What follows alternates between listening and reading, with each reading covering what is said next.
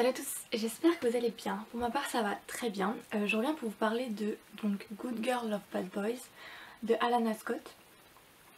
Voilà, alors je vous mettrai toutes les informations concernant le livre, l'auteur, etc. dans la barre d'infos, ne vous en faites pas. Euh, mon Instagram pareil, si vous souhaitez me poser des questions, après vous pouvez les poser sous la, sous la vidéo en commentaire. Mais bref, je vous, je vous mettrai toutes les informations concernant le livre et tout ça, tout tout tout tout. En barre d'infos, ne vous en faites pas. Alors, euh, pour vous expliquer le contexte de l'histoire. Donc déjà on rencontre Elodie. Euh, et en fait ce qu'il y a c'est que donc déjà dès le début on voit qu'en fait elle déménage parce que son père a été muté donc à Saint-Louis en Amérique. Et on va dire qu'elle est pas tellement, enfin elle est pas du tout d'accord avec cette décision. Le problème c'est qu'elle a pas le choix de suivre donc euh, voilà. donc vu que son père a été muté elle a vraiment le choix de suivre. Elle a pas trop le choix de suivre même si elle est pas d'accord. Bref. Et en fait ce qu'il y a c'est qu'arrivé à Saint-Louis, enfin arrivé en Amérique, euh, sa soeur lui dit une phrase. Et en fait je pense que sa soeur n'aurait jamais dû sortir cette phrase parce que à partir de cette phrase toute sa vie à Saint-Louis part en cacahuètes en fait vraiment. Je crois que cette phrase là lui aura porté malheur parce que vraiment dès qu'elle a sorti cette phrase il y a plein de choses qui se sont passées après.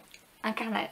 Vraiment. Bref donc on rencontre Elodie etc qui arrive à Saint-Louis tout ça etc et en fait vu qu'elle va donc reprendre les cours parce que bah, a déménagé donc elle doit prendre les cours et en fait, euh, pendant que donc, elle va à l'école, euh, au lycée, et ben en fait ce qui se passe c'est qu'elle va rencontrer donc Victoria. Une fille qui se trouve déjà dans le lycée, etc. Et euh, donc c'est là où elle va étudier. Étudier on va dire, parce que vu comment ça commence à l'intérieur du lycée, je n'ai pas vraiment de doute sur le fait qu'ils étudient du tout. Hein. pas du tout. C'est très ironique bien évidemment. alors en gros pour vous expliquer, donc on rencontre donc Vic, donc vraiment c'est deux, les deux ensemble au fur et à mesure de l'histoire, c'est vraiment deux folles. Enfin, Elodie elle a un, summum de folie euh, qui atteint des sommets, vraiment. Mais bref, les deux... Euh, alors en fait, plus on va avancer dans l'histoire, et plus on va en apprendre plus sur chacun des personnages, enfin surtout sur, euh, sur Zach, donc celui qu'on va rencontrer aussi après.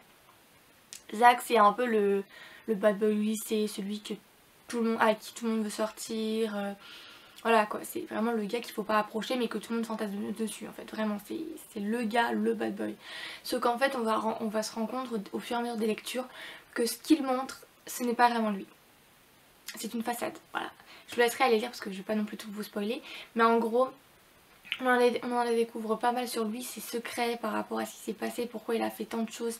Bref, on va comprendre tout ça au fur et à mesure de la lecture. Et vraiment, on en a des surprises, ah, vraiment. Euh, donc on rencontre donc Zach, on en apprend sur lui. À côté en fait pendant la lecture, au fur et à mesure de la lecture en fait on, a, on, voit dans quel pétrin à chaque fois Elodie se mêle. Elle, elle, est dans des histoires pas possible. Vraiment il y a des moments où on se croirait dans un film d'action. C'est... Je suis en mode ah ouais quand même. Surtout pour son âge. Cette fille est plein, dans plein d'histoires. Et, et, ouais, enfin je suis en mode sérieusement quoi. Enfin waouh Et euh, donc voilà, au fur et à mesure donc on apprend tout ça. À côté on voit sa famille aussi. Et euh, sa famille est, très nocive pour elle. Euh, vu ce qui se passe surtout par rapport à, certaines histoires, par rapport à ses parents, sa soeur. Vraiment en fait on, en apprend pas mal et, vraiment cette famille est vraiment très nocive. vu tout ce qui se passe en fait dans le premier et le deuxième tome, c'est un carnage vraiment. Enfin, en fait tout le monde est impliqué dans quelque chose mais sans vraiment des fois être impliqué vraiment.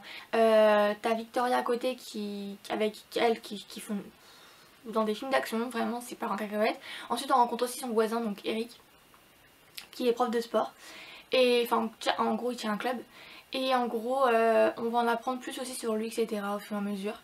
Euh, mais vraiment on en apprend sur pas mal de personnages vraiment. Et waouh c'est hallucinant quoi Ensuite, on, quand, en fait, vu tout ce qui s'est passé, tout ce qu'il y a eu avec Elodie et toutes les histoires, on va voir qu'en fait elle va repartir d'où elle est venue. Et il va passer plusieurs années, euh, tout simplement. Et en gros, elle va revenir parce qu'il y aura un événement qui s'est passé, ce qui fait qu'elle doit revenir pour assister à un événement. Et ce qui se passe, c'est que tout ne se passe pas comme elle avait prévu, elle. Voilà, comme tout le temps, il n'y a, pas de, a pas de logique en fait. Ça se passe pas du tout comme prévu. Donc voilà, donc en fait elle va revoir Zach, donc elle va revenir à Saint-Louis, donc elle va revoir Zach et toutes les personnes qu'elle était censée revoir. Voilà. Et je crois que c'était la fin, enfin le troisième tome, c'est je crois le truc où il lui arrive le plus de choses en peu de temps. Vous comprenez rien, vous dites dans quoi elle s'est embarquée Ah vraiment Elle était à Londres, elle revient à Saint-Louis, c'est un bordel, un. Euh, je peux pas vous en dire plus sinon j'ai peur de vous spoiler. En fait là j'ai essayé de faire... Euh, j'ai de vous faire euh, dans le temps des trois tomes en fait tout simplement. Je vous ai un peu parlé du premier, du deuxième et du troisième en même temps en fait dans, la logique des choses. surtout ce qui m'a un peu dérangé, enfin ce qui m'a beaucoup dérangé moi c'est les clichés dans l'histoire. j'ai eu du mal avec. Au début ça allait encore parce qu'il n'y avait pas tant que ça. Mais au fur et à mesure de l'histoire en fait ça s'accumulait et je trouvais que c'était un peu beaucoup.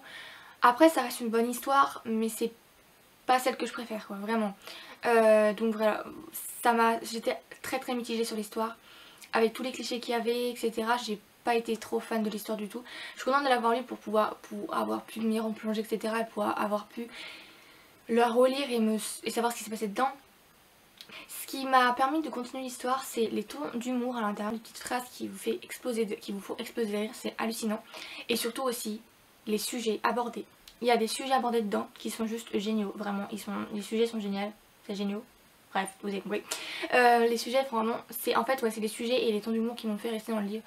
Sinon, avec tous les clichés, je pense que j'aurais vraiment lâché l'affaire parce que clairement, c'est un livre qui m'a... À la fin, j'étais... Je vais pas, je vais pas être méchante, hein, mais j'étais à peu près contente quand même de finir le livre parce que, bah, en fait, le livre m'a, comment dire, un peu stressée parfois, en gros. Je sais pas comment vous expliquer, je vais pas pouvoir rentrer dans les détails, mais en gros, voilà. Mais euh, sinon, euh, c'est un livre à lire quand même pour découvrir l'histoire.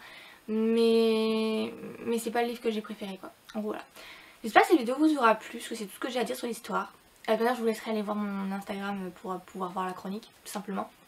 Ouais, en tout cas je vais vous laisser. J'espère que cette vidéo vous aura plu. D'autres vidéos reviendront après, vous inquiétez pas, ne vous en faites pas.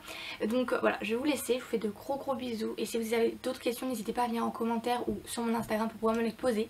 En tout cas je vais vous laisser. Je vous souhaite une très très bonne journée, une bonne soirée, une bonne matinée, comme vous voulez à l'heure à laquelle vous regardez la vidéo. Et moi je vais vous laisser, je vous fais de gros bisous. Et je vous dis à plus tard. Vous mes petites fleurs, à bientôt.